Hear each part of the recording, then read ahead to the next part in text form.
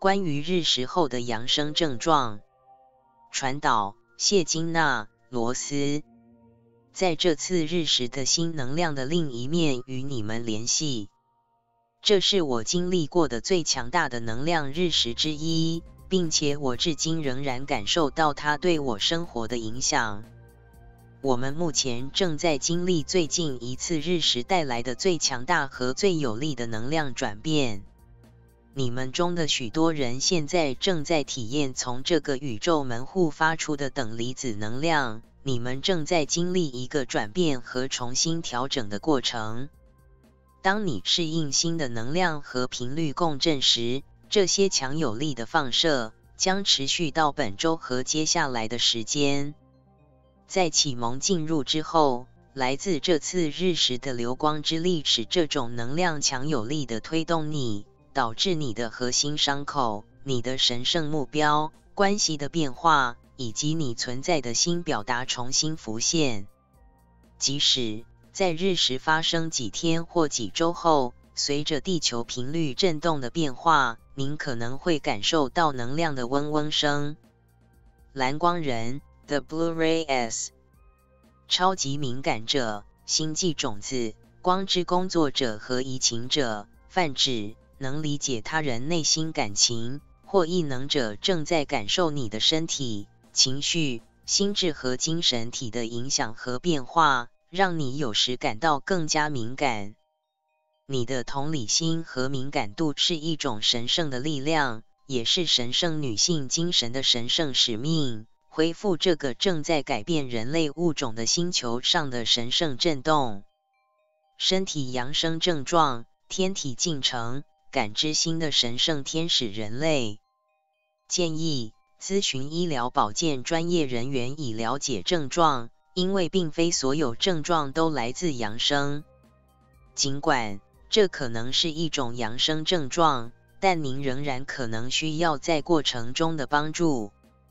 一，当你能感觉到能量流过你的身体时，几乎会发出嗡嗡声。二，感受到一股鼓舞人心的能量，幸福和快乐。三，缓慢污泥能量后的释放、解放。自由。有些人可能会经历一段能量缓慢的时期，感觉能量很浓，完成工作、日常活动和专案更具挑战性。然而，当你的生产力不如你想要的那样时，某些专案、人员和会议就会轻松的过去。知道能量减慢的感觉是有原因的，你需要时间让你的身体。思想和精神调整和重新调整，以适应新的更高的流动、神圣的时机和频率转变。四，有些人可能会在空气中有更多电流和等离子体的地方出现头发静电以及肌肉痉挛。五，睡眠障碍包括早起或晚起以及半夜起床。六。确保您所连接的领域以及天使界、仙女界、大地之母界、香巴拉界、地心世界和宇宙其中的一部分。这不仅适合您，这也是为了让世界透过你接受这一切。七，生动而有力的梦想，以及来自您梦想状态的讯息。八，消化，有些人会比平常更饥饿。而有些人会发现很难吃东西，偶尔会出现胃部不适。此外，您在某些时候吃的一些食物会直接穿过您的身体。九、灵魂出窍的体验，感觉能量在体内波动。十、耳边传来一阵阵高亢的铃声。十一、疲倦、乏力或恍惚状态。这种状态可能会持续一天、几天或几周。